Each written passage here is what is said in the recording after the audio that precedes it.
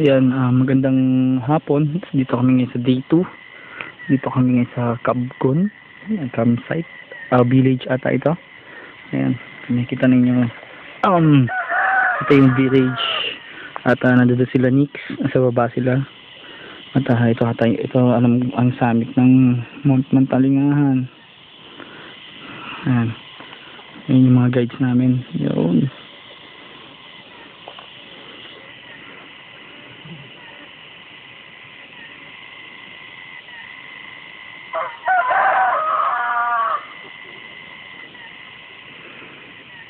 Hmm.